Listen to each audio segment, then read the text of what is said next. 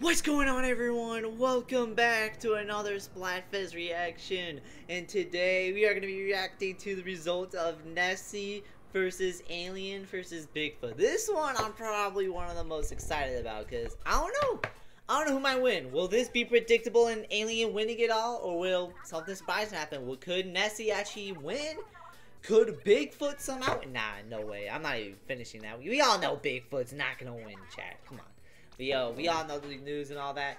Hey, hey, hey, breaking news, hot off the press. Huh, we got, got flustered. It's the Splatfest results. Get hype. Don't tell me twice, yeah. Alright, here we go, chat. Con show rates. Oh, yeah, sneak peek. Oh, yeah, Alien won that.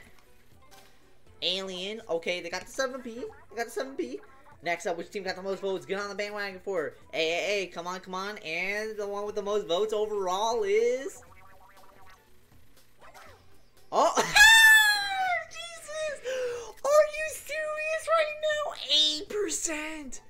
8%! 8% only pick Bigfoot! If they win, I'm in, I'm uninstalling it live. I'm uninstalling this game live if Bigfoot somehow wins. 8%! You're only telling me 8% of people pick Bigfoot. What the fuck? Oh my god! What's next? Tell me. Time for clout check. Oh my god, this determines it all. If Bigfoot wins, I don't know what I'll do. Hey, hey, and three, two, one. Chad. Oh, I don't know who might win. Chad, I don't know who might win. All right, Chad, who's winning? I actually don't know who's winning. I know Bigfoot's not fucking winning. but damn, I don't know who might win between Alien and Nessie. And the final results. And last but not least, the part you've been waiting for. Final results, right? Bill them. Listen up, it's going down the overall spot list. Winner goes. I can't take the suspense. It's...